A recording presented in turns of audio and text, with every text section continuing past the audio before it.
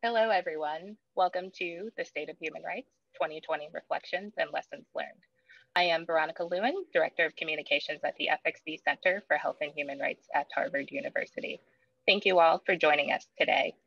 One housekeeping item before we get started. Our speakers will be taking questions at the end of this event. For those watching on Zoom, please leave your questions in the Q&A box. If you are joining us on Facebook Live, please leave your question in the comment box. Now, we will start our event with a keynote address from Dr. Mary T. Bassett. Dr. Bassett has dedicated her career to advancing health equity. She is currently the director of the FXB Center and the FXB Professor of the Practice of Health and Human Rights at the Harvard T.H. Chan School of Public Health. Prior to joining the FXB Center, she served as New York City's Commissioner of Health from 2014 to 2018. You can learn more about Dr. Bassett by visiting our webpage. A link will soon be available in the chat. And with that, Dr. Bassett, the virtual floor is yours. Thank you very much and welcome everyone. It's really a pleasure to be with you today and I'm delighted to be part of the FXB Center's inaugural State of Human Rights event. When we look back at the past year, there is a lot to reflect upon. 2020 was truly a year unlike anything that any of us have seen in our lifetimes. Uh, it was a year that tested us as a society as societies around the globe. And it's fair to ask the question, how did we fare?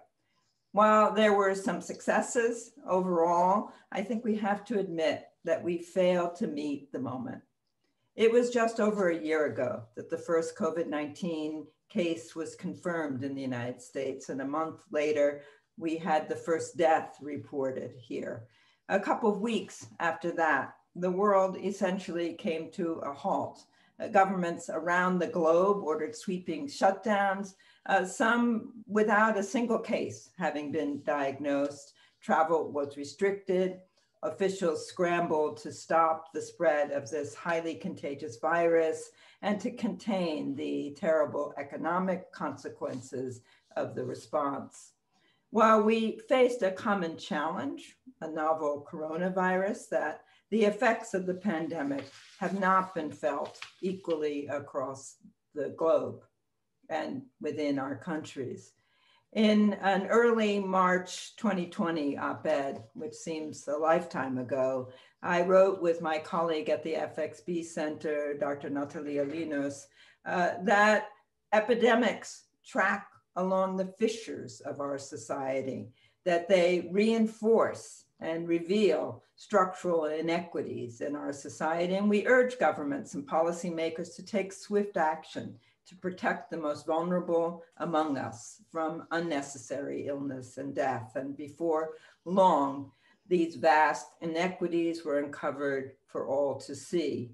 Let me talk about the United States as soon as the data were available, and we did have to wait we saw that Black, Latinx, and Indigenous Americans were getting infected and dying at higher rates than white Americans. When adjusted for age, the COVID 19 death rates were more than two to three times higher for the Black, Latino, and Native American population than for white Americans. And this, of course, is not because the people in these communities are at biologically higher risk of contracting the virus. This is a result of a way in which society has built itself, decisions that we've made that intentionally and consistently have kept people who are not white at disadvantage and as a consequence harmed all of us.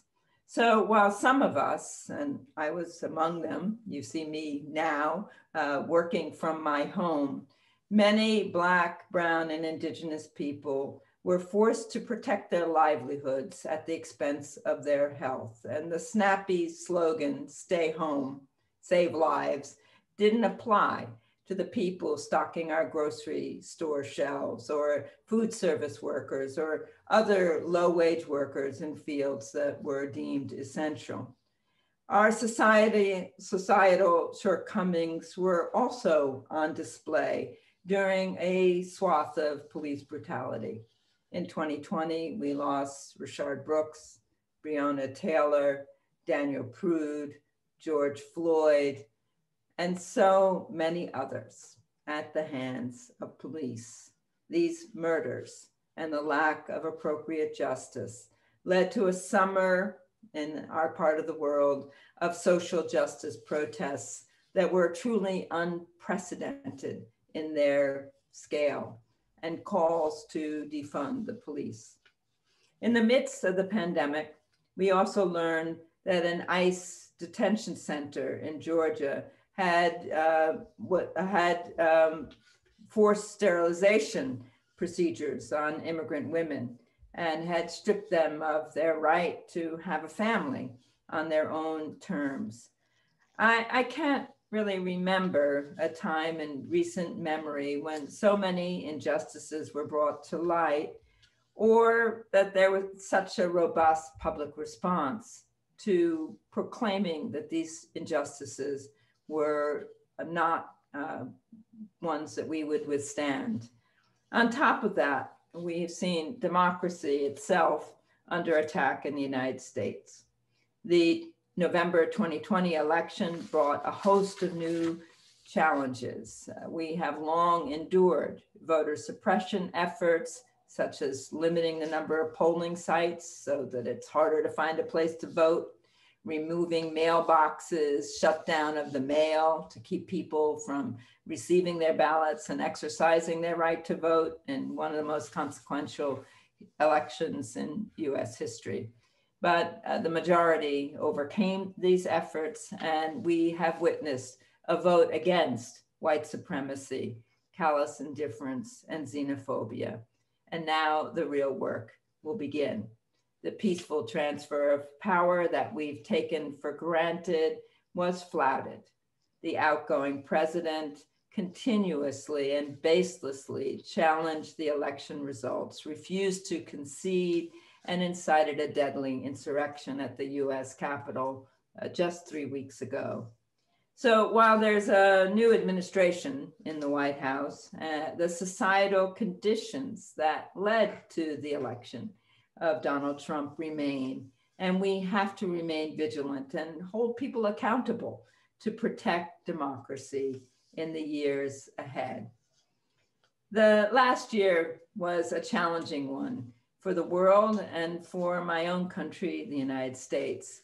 Uh, but there have been some bright, bright spots. You're seeing a photograph of one of our bright spots right now. And a positive outcome of 2020 was a new and collective understanding that our world must be better. It must be more just for those who currently live here and for the future generations to whom we owe our strongest efforts. I am heartened by the movement for racial justice and believe that the power of organizing will lead to lasting change. The rapid development and of a safe and effective COVID 19 vaccine was also a tremendous gain for the health of the world. So, as I conclude my reflection, above all, 2020 was a year of loss. I think nearly all of us have been touched by the lethal impact of the COVID 19 uh, pandemic personally and on a global scale. Uh, the loss of life as we knew it, and the loss of 2.1 million people from coronavirus. And we hope also that we have lost the status quo that brought us to this moment. Uh, the state of human rights is precarious, but I'm very hopeful for the year ahead.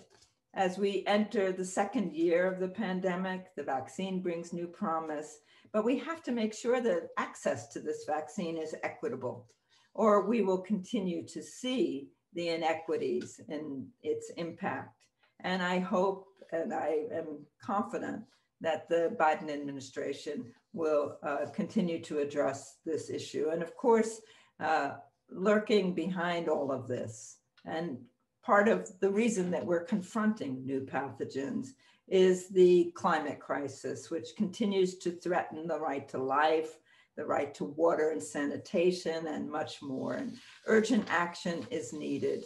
And we also must begin to address the long-standing health and wealth gaps in a meaningful way. the health inequities that we see in Black America can be traced all the way back to 1619 when the first Africans were captured from Africa and brought to the colony then of Jamestown. That was in 1619, uh, now over 400 years ago. And reparations as a way of offsetting this long and painful history uh, and addressing the enormous persistent wealth gap between Black Americans and their uh, white counterparts is something that we all have an obligation to discuss and to work towards.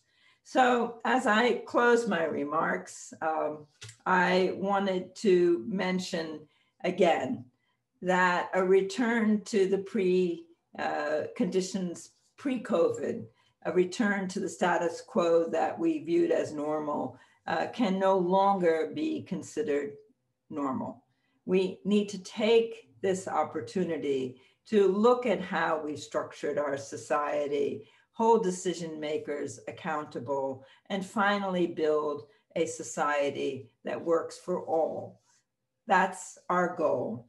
So as I close, I want to uh, speak the words of uh, the National Youth Poet Laureate, Amanda Gorman, uh, who, who made us all so proud with her poise and her courage as she read aloud at the US presidential inauguration just last week.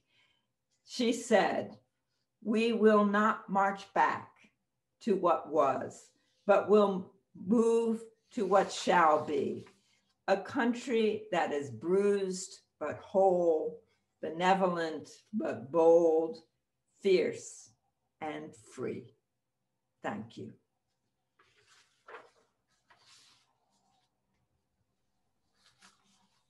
Thank you, Dr. Bassett. Before I introduce our special guest, I'd like to remind the audience that we will be taking questions at the end of this program. Please be sure to leave your questions in the Q&A box on Zoom or as a comment for those watching on Facebook.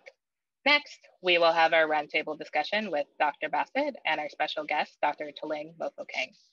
At its 44th session in July 2020, the United Nations Human Rights Council appointed Dr. Mofokeng as Special Rapporteur on the right of everyone to the enjoyment of the highest attainable standard of physical and mental health. Dr. Mofokeng is a medical doctor with expertise advocating for universal health access, HIV care, youth-friendly services, and family planning. Dr. Mofokeng's full bio is now available in the chat. Dr. Mofokeng, we are so delighted you could join us today. And next, we will kick off the roundtable discussion. Dr. Bassett, I will turn it back to you to ask the first question in our roundtable discussion. All right, thank you very much. Uh, and uh, I, I want to uh, thank Dr. Mofokeng for joining us. I think you must be in South Africa. Is that is that right? I'm yeah. in Johannesburg. And congratulate you on your appointment as a special rapporteur uh, on the right to health. The right to health was really the founding principle of the FXB Center for Health and Human Rights uh, that was mm-hmm. founded now over 25 years ago. Um, so I um, have talked a lot about COVID-19 and of course it's on all of our minds. But I, I, thought I would start out by asking you a question that refers to work that you've done that um, has preceded the impact of COVID 19. Of course, all of those challenges still remain, and, uh, and some of them are really relevant to how we've been able to respond to COVID 19, namely the right to universal health care. And you've long advocated for universal health ac access, for universal HIV care, for youth friendly services, and advocated against gender based violence. So, why don't you talk with us a little bit about the successes that you've had, the challenges you've faced, and how you think we can move to overcome these challenges? Thank you so much, um, Mary. I mean, it's quite a privilege for me to join you for this session. Um, I feel thoroughly spoiled because I've been following your work for many, many years. Um, and just to say thank you for, for the path um, that we now follow. And you know, a lot of the time when when people you know get to understand the work that I do as a medical doctor, the question is why? Why are you an activist? Why are you concerned, right, mm-hmm. about the politics of health?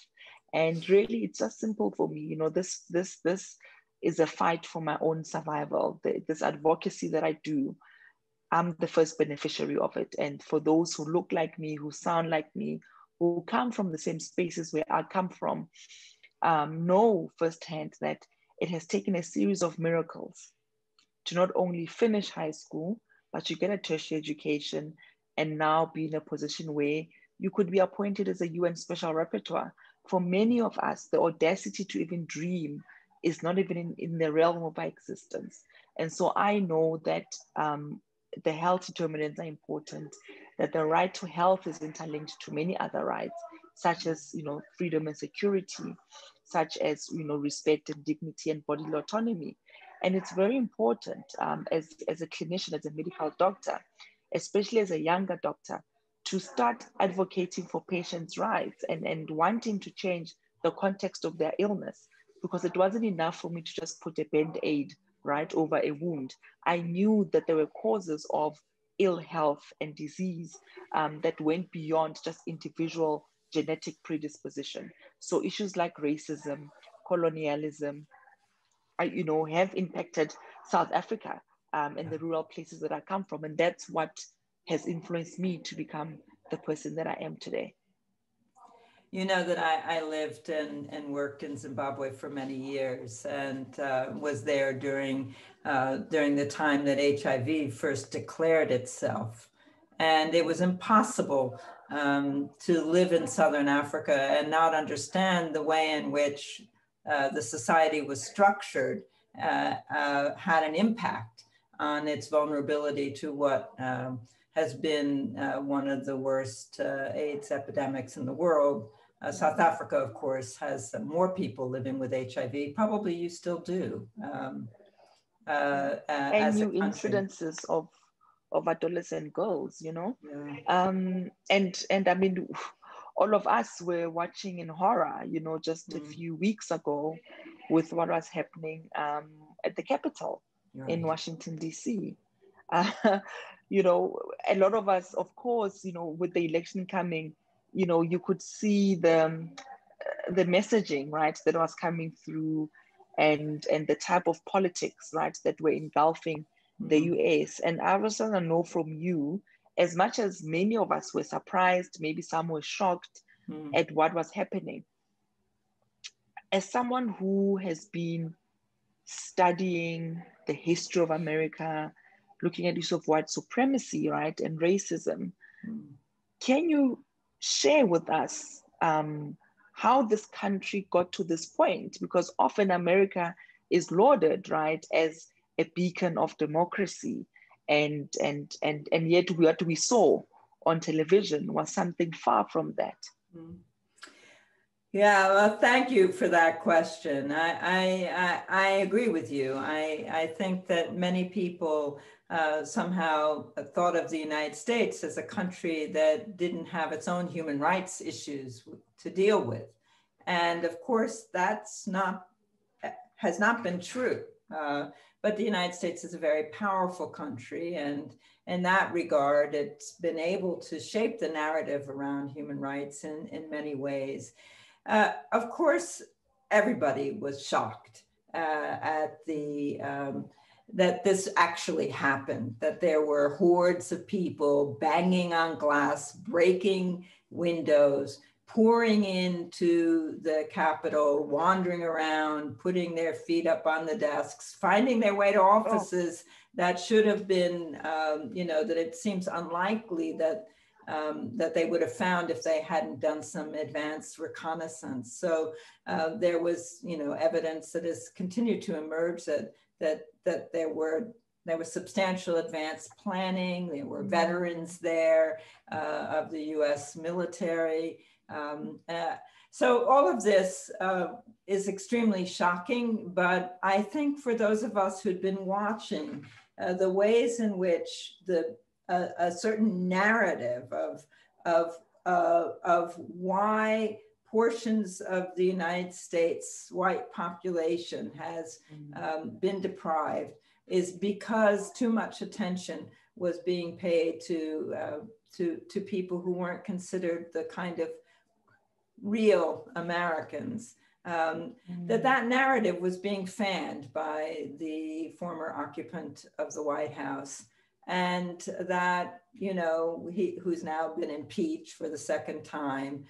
Uh, so it was not shocking um, uh, in the sense that there was a lot of advance notice that this kind of drumbeat was being built up. And I, for somebody who's worked, you know, to advance social justice and protect human rights, I think it, it tells us that we have more work to do uh, by turning the lens on ourselves and, and no longer seeing human rights issues as something that is the uh, responsibility of countries thousands of miles from yeah. us. The whole world saw that the US is facing true challenges to, uh, to democracy, ones that go deeper than just that attack on the Capitol, have to do with voter suppression um, and the deep uh, structural inequalities that have.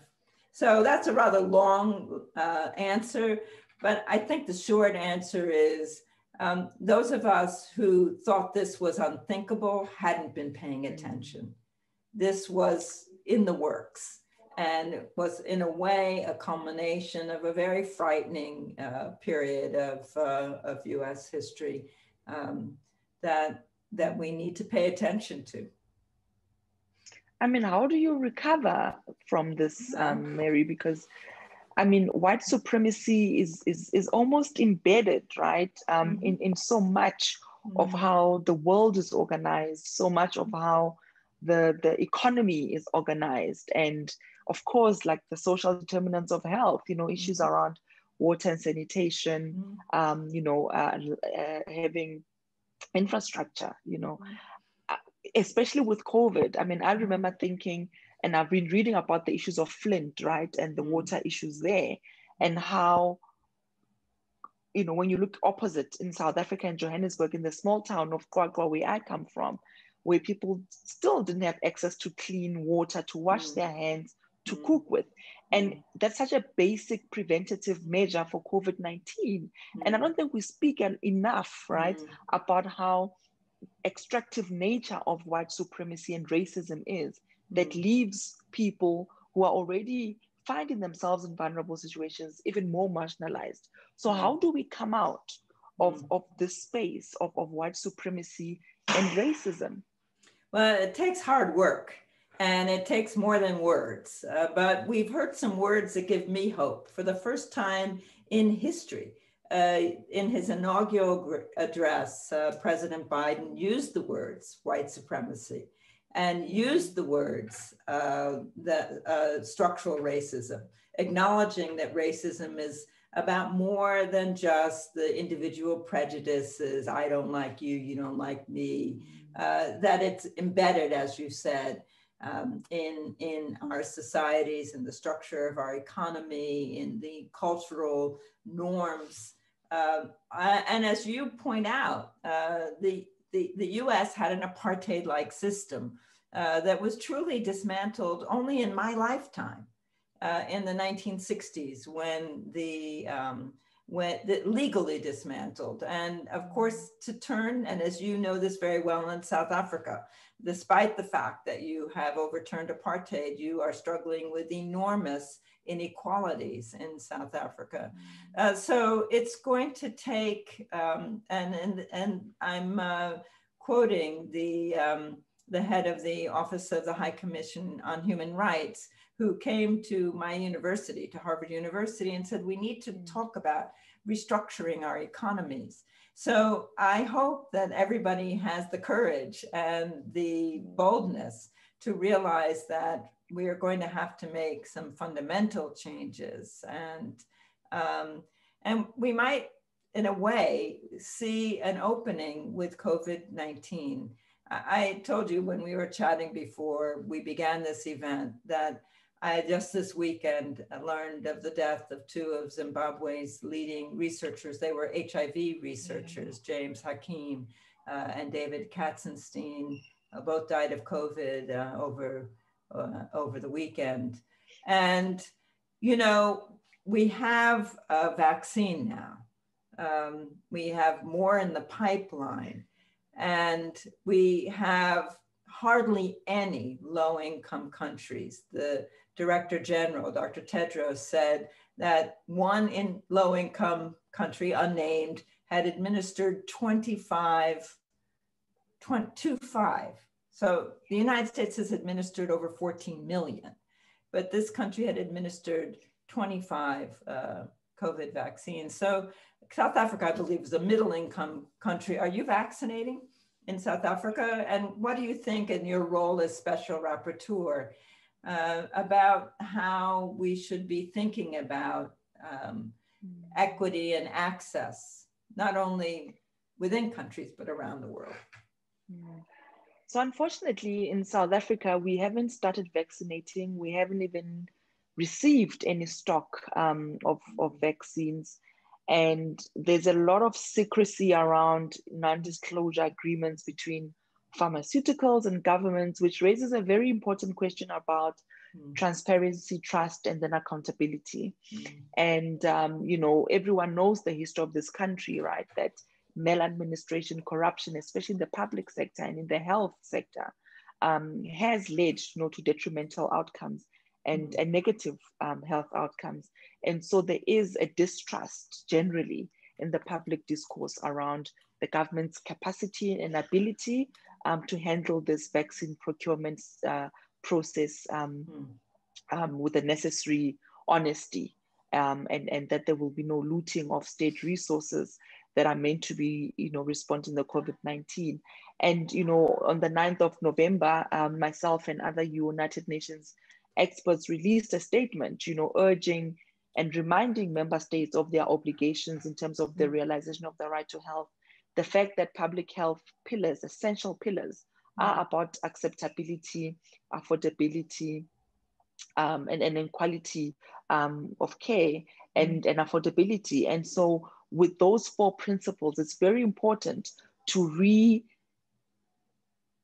reinvigorate the call for health equity because yes the vaccine is available somewhere but it's not accessible to everyone who needs it and affordability becomes an issue where low income countries and middle income countries are then further indebted, right, by the developed countries by getting loans and other financial institutions globally who then perpetuates that cycle of poverty where you know the fiscus and the GDP of countries then go to paying debt.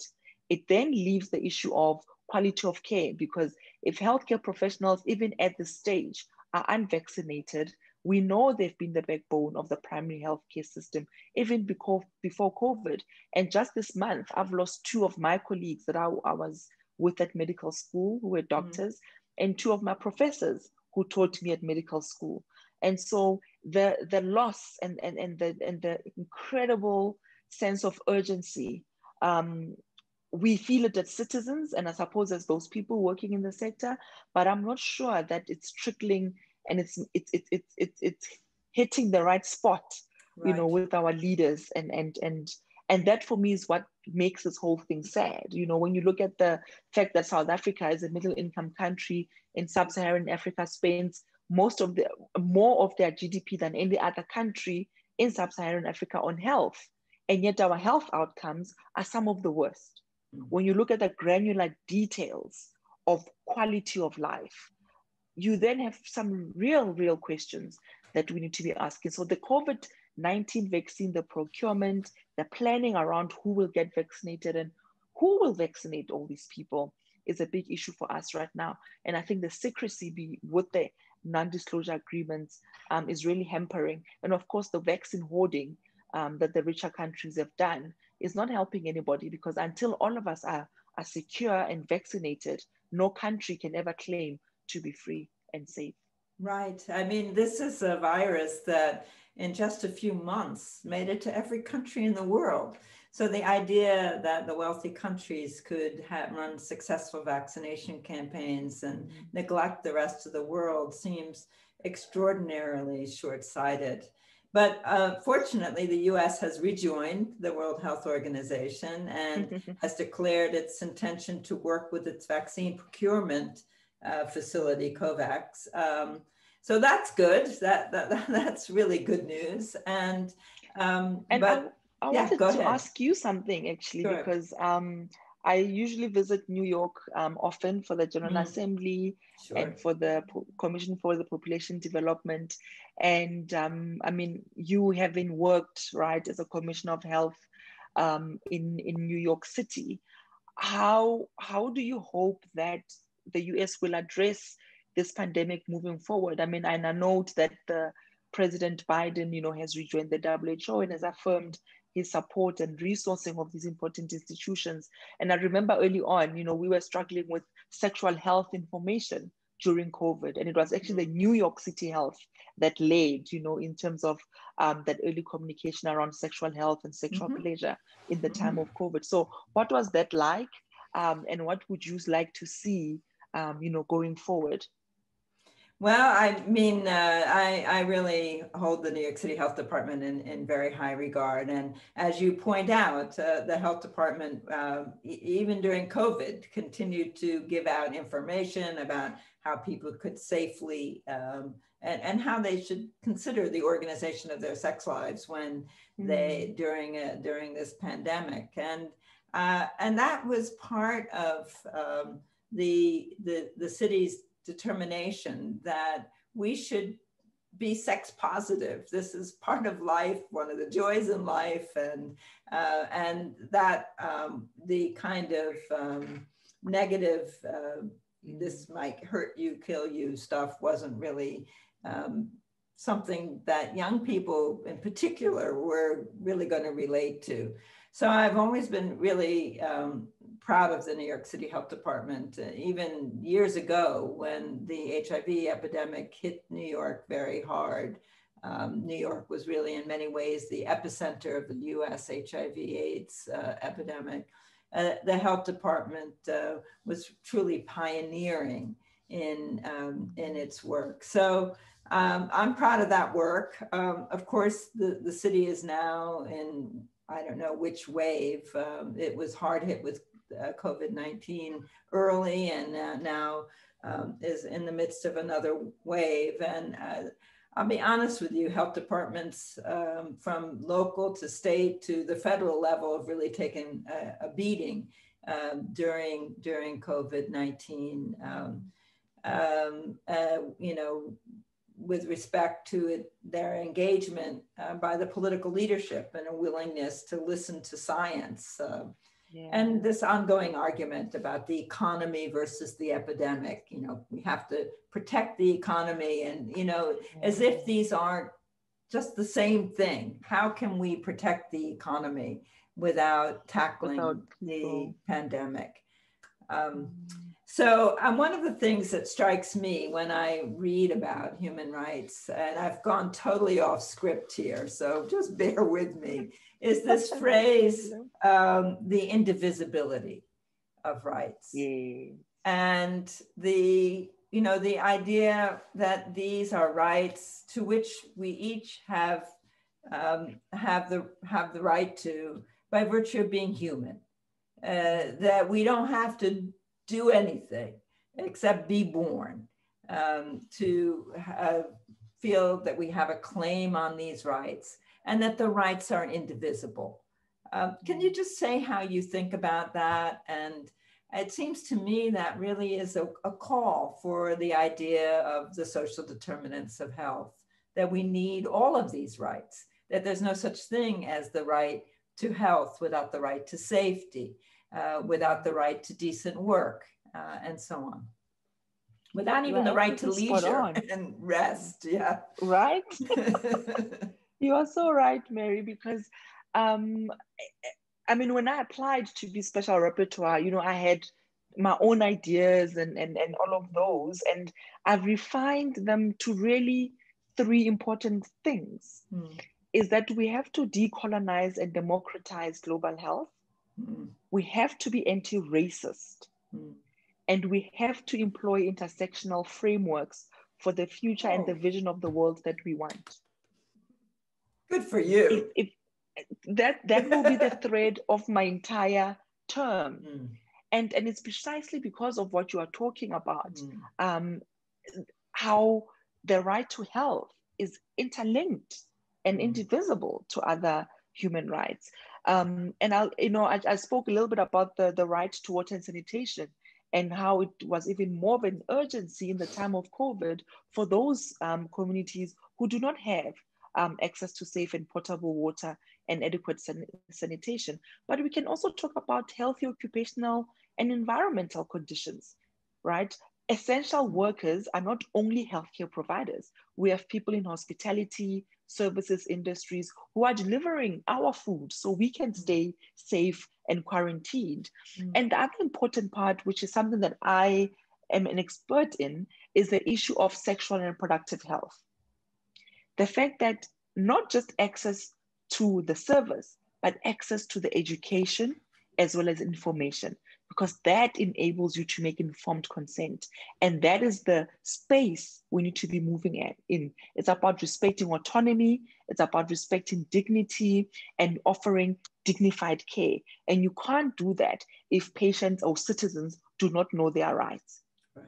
right? And so, in my approach to the mandate, is to really look specifically into those entitlements, such as maternal and child and reproductive health, looking at issues of bodily integrity, freedom from torture and ill treatment. I mean, we know the history of medicine, mm. all the different experimentation and unethical mm. practices that has happened mm. in, in, in the medical fraternity. In South Africa last year, the Commission for Gender Equality, where I'm a commissioner, released a report that detailed some horrible um, you know, treatment of HIV positive women who were either coerced or forced into, into sterilization because they were HIV positive. And this is not something that happened in the 80s. It happened in the democratic South Africa. And so those are the very important issues for me um, to really constantly be drawing the links and showing that, in fact, my right to grow up as a child in a safe and secure environment is important for my mental health, it's also important for me and my cognitive development. And, and, and, and so the issue of gender-based violence for me and femicide, I always think, who else are we leaving behind when we are talking about gender-based violence? Because again, in South Africa, you have women mm. who are raped, mm. but some of them are raped because they are women and lesbian. So their sexuality becomes mm. a second layer of vulnerability that they then have to navigate in mm. their in their communities. And so it really is about not just defining the right to health in abstract terms but really thinking about how do we operationalize human rights? How do we operationalize the right to health that it's the bedrock of all policy work all policy analysis and as well as clinical care? A lot of my colleagues and and, and, people generally um, you know, struggle with this um, idea of, of, of being a doctor, but also being an activist. And I always explain it very clearly. When you are in the consultation room with your patient one on one, you are already advocating for their rights. You are already promoting their rights to human rights. And, and in some instances, you will go further to develop and advance and do all of those things related to human rights. And the only difference with me is that I'm a clinician who's doing that broadly, not one on one anymore, but more broadly. Um, and this year, of course, I have gone back to clinical practice. So it really? will be quite interesting for me. Yes, yes. Right, you've um, answered March, the call. I'll be back. Wow. yes, I'll be back in clinical practice. But again, I think for me, it is about creating better health systems that can better um, um, support and respect and protect people's human rights, even in the clinical care and how we practice medicine in itself should be about human rights. Wow, that was beautiful. Uh, can you just, for all of us, just say once more the three main themes that you decided to highlight in your role as a special rapporteur? And then tell us a little bit about what special rapporteurs do and what you do in a time of COVID. when I would have guessed that your ability to go around the world has been constrained. Uh. And you're doing more of this kind of visiting here. I'm talking to you from uh, snow-clad uh, Boston, um, but uh, you you uh, you can't come here at the moment. Yeah. So tell us those and it's such a special place. Again. Yeah, yeah. I do. I do have some friends that I went to high school with who are currently at Harvard. Really? Um, and so this is a yes. Yeah. It's, it's, more yeah. of a, a you world. know intimate fireside chat. I think. Um, so the, the special rapporteur, um, you know, is mandated to pay attention to groups of mm. people in vulnerable or marginalized situations. And we are tasked with applying a gender lens to the work that we do and addressing, of course, the needs of children in the realization of the right to health. It's very important that um, we have to take into account, of course, the other important work of other UN agencies and programs like UNAIDS, like UNFPA, amplifying the work that they do. Um, and the WHO, of course. And as a special rapporteur, without COVID, I would have probably done a few country visits now where you mm. do fact finding missions, where you mm. investigate um, alleged allegations of abuse or ongoing. Allegations of abuse.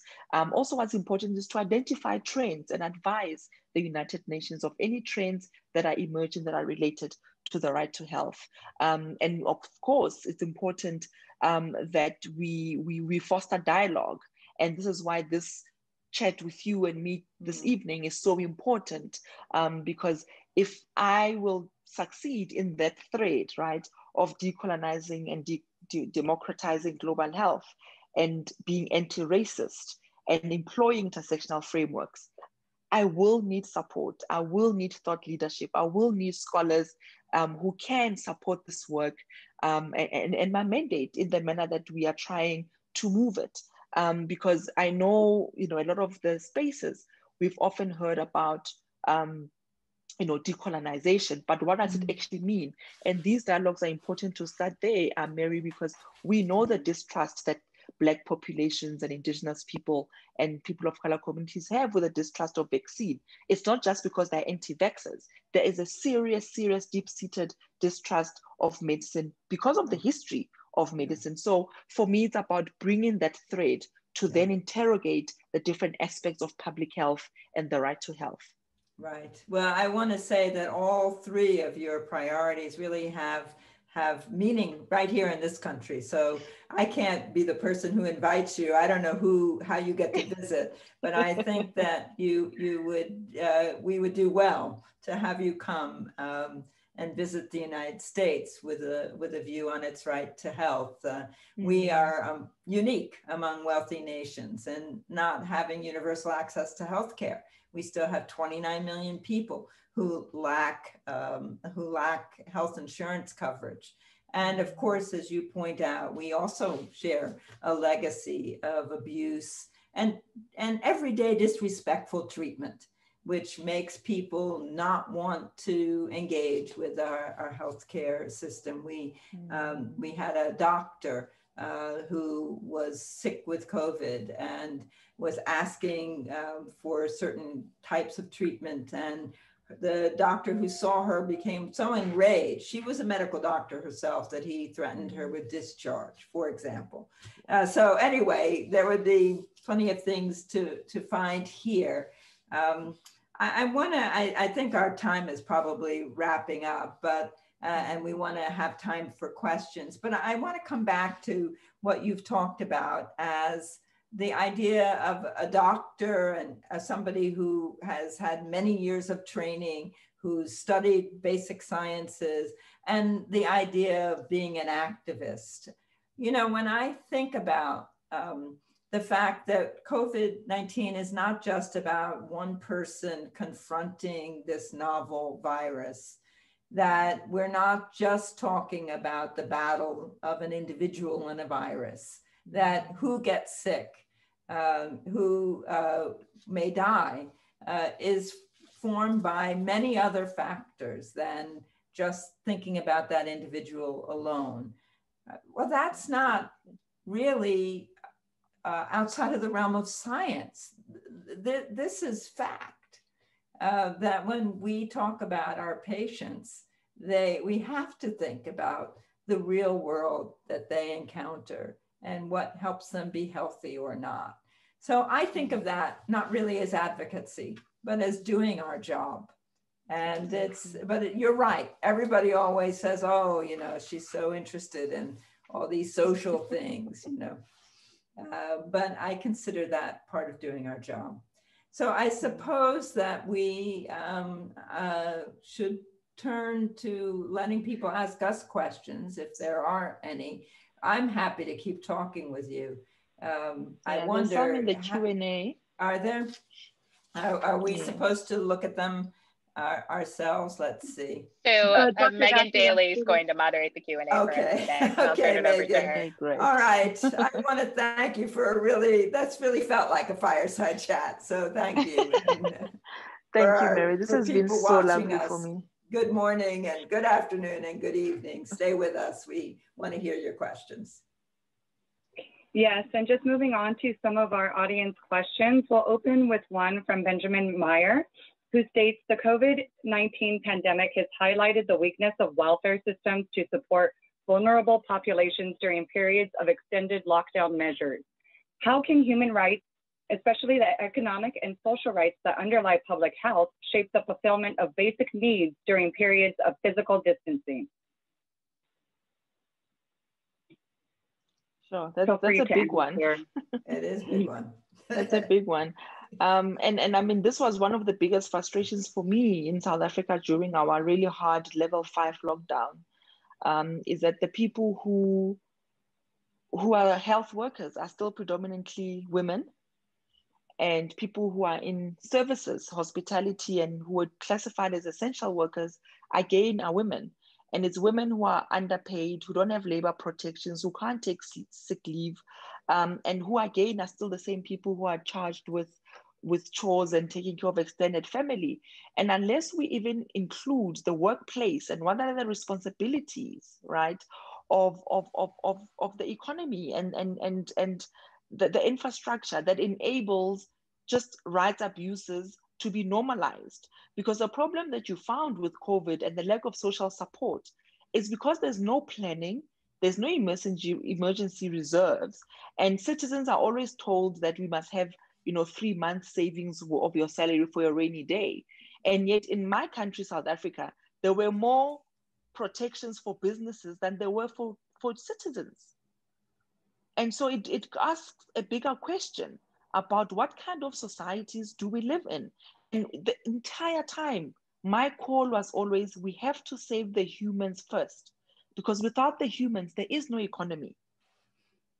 There is no economy. So my outlook is really about putting people first, but it's difficult to put people first in a time of disaster when, as a default setting, those are not your principles you know um, and and so yeah it, it's really really frustrating um, that indeed and you found that those countries that were able to succeed in giving social support citizens were um, able to social distance um, properly and, and and you know and, and that led of course that behavior itself led to a lesser um, spreading of the of the infection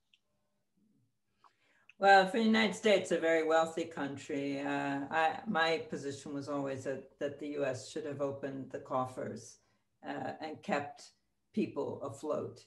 And we saw the, you know, this sort of, uh, we can afford it. The United States can afford it. And it should have met its obligations to, to the world uh, and help mm. and helped uh, uh, countries that, that don't have the kind of resources that the United States did. Yeah. So this was the time to um, to to say that the, no there the cost is not too high, um, but that wasn't what we saw, and mm-hmm. um, uh, you know we now um, you know we we're paying a price for it. Um, compared to Europe, which has a much stronger social safety net than the United States, yeah. um, you know, the quote lockdown was far more successful there. I think the estimates are that the US hit sort of about 50%, whereas mm-hmm. mobile phone data and so on suggested that in, um, in Europe, they'd really damp things down 80%, that kind of thing, yeah. really Um, and, and that was what reduced the circulation of a virus. This is a highly contagious virus.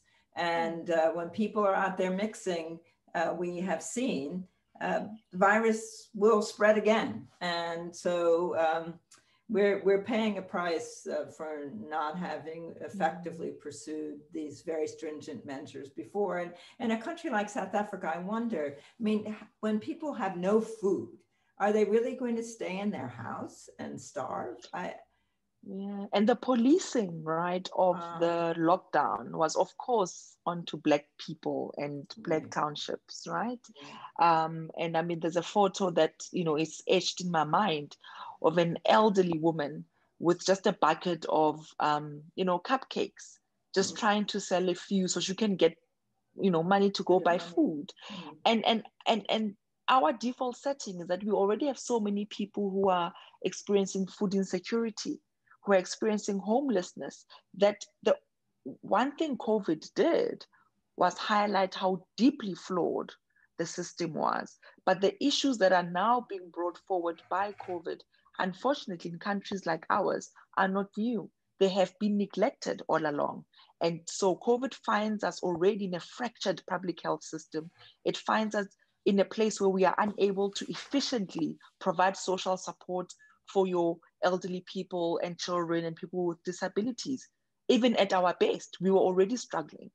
So people are experiencing hunger, people are experiencing starvation, children are experiencing stunting in growth, and the older people have no mental support whatsoever including children. It's so hard to talk about children and explain what's happening. So if as adults we are feeling so overwhelmed, can you imagine a child who still can't even process and find the, the articulation of the feelings that they feel? And I think the mental health side of, of the COVID response is something that we are not paying enough attention to. And the fact that communities are experiencing COVID at the back of living under really terrible um, situations in the first place. yeah, yeah. It's uh, this will take a while to get through. Uh, Thank you both. I think we can uh, move on to another question if that works for you. We'll take one from Elise Pector who asks, essential workers were just moved down on the list for vaccination for COVID-19 in phase two in Massachusetts. Do you see this as a continuing denigration of the rights of and protection for Black and Brown people? I think that that question must be directed mostly to me. I, I uh, so let me take it, and and you can say what the um, analogies might be in in the settings that you're more familiar with, Dr. Mofokeng. So the um, the metric that's being used to assess who should have access to the vaccine first is saving lives. And the majority of people who've died of COVID 19 are older people. And the something like an aggregate 80% of all deaths that have happened so far were among people who were over the age of 65.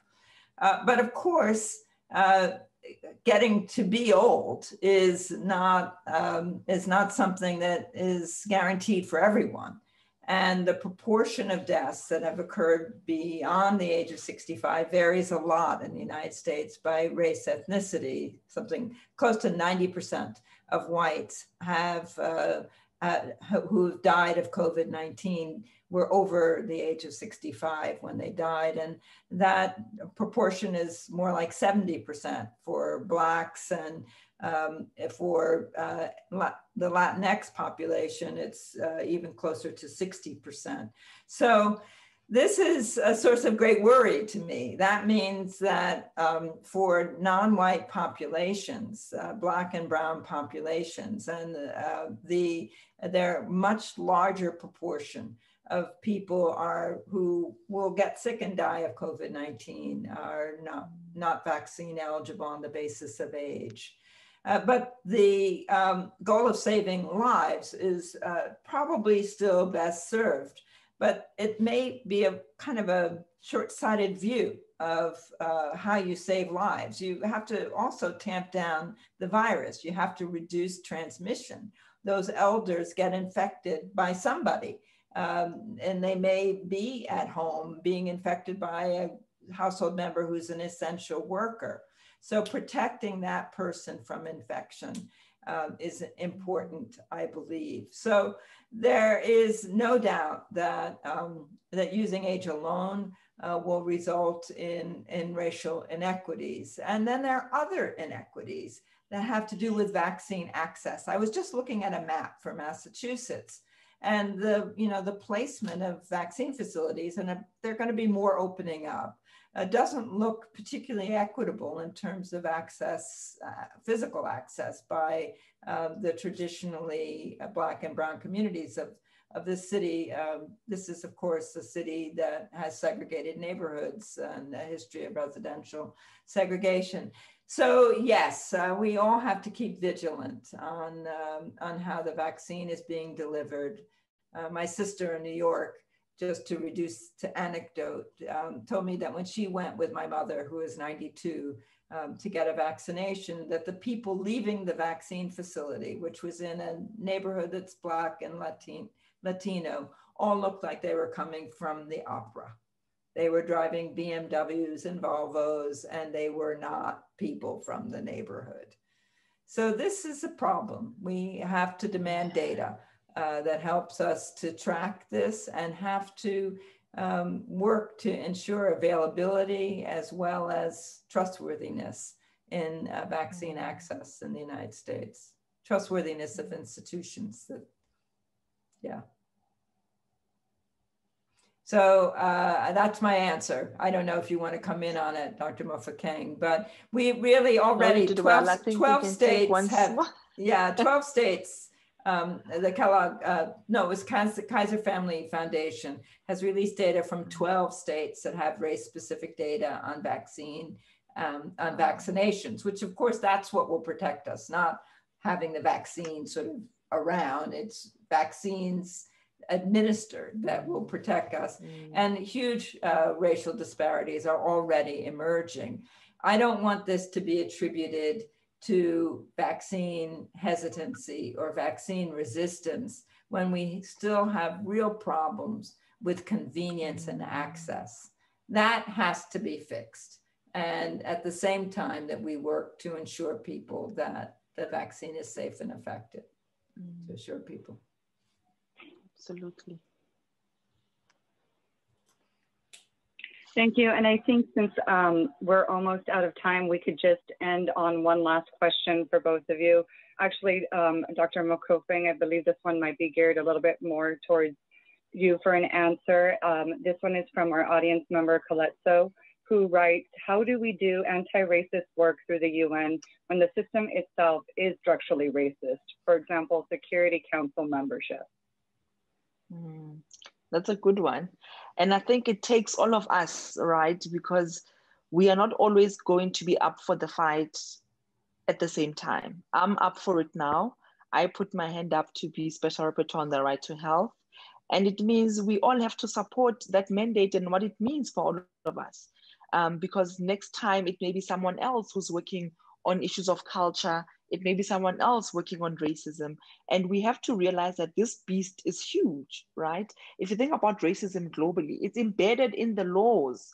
So when people use the law against you, um, they are basically just you, you know perpetuating white supremacy, but they can always hide behind the law. So we need legal practitioners, we need advocates, we need attorneys who are themselves understanding how in their practice of the law they can be anti-racist and support democratization. And the same with the United Nations. The issue that the interns don't get paid, um, you know, they, they, they, they it, it means then it's only those people who are from families who can support them being interns and, and working for free. And mm. therefore they are the ones who are most likely to get a foot in the system and then remain in the system. And so I, I fully agree that um, not all of us will have the capacity all the time because racism has literal physical health, you know, negative outcomes.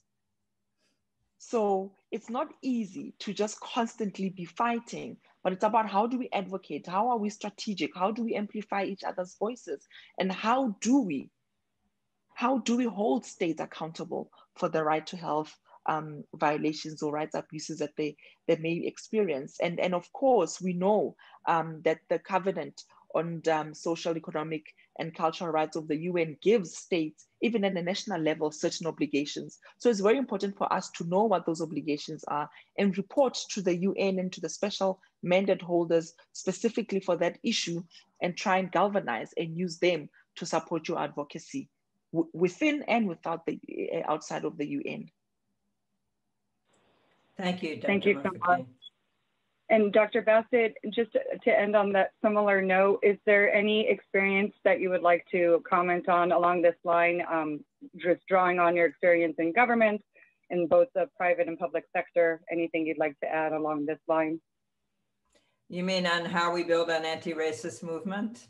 Well, this is a job for all of us, uh, I would say. And part of it is just not shutting up.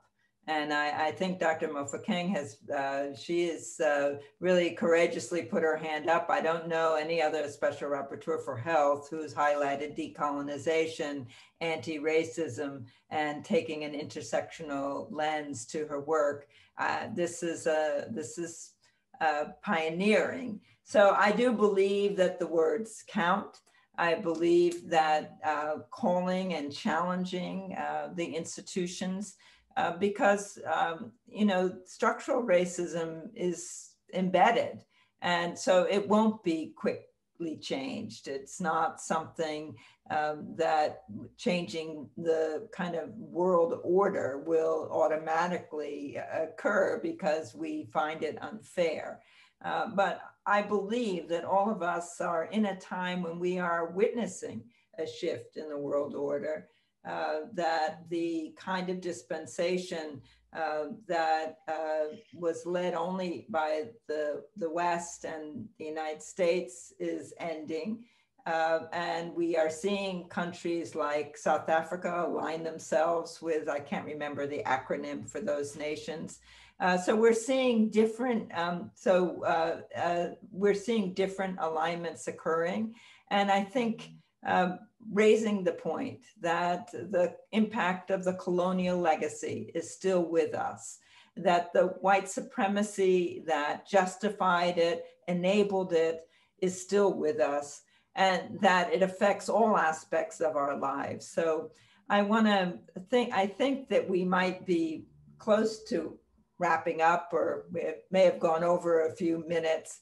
Um, so I just want to give thanks for a robust discussion and turn it back to our moderators to close us out. Thank you very much. Thank you, Dr. Bassett and Dr. Mofokeng for a wonderful discussion today. Unfortunately, we are out of time for the program. Um, we apologize to anyone whose question we weren't able to get to today, but we would like to thank you all very much for watching and if you're interested in learning more about the FXB Center for Health and Human Rights or learning more about our upcoming events, please visit fxb.harvard.edu. Thank you and have a great rest of your day.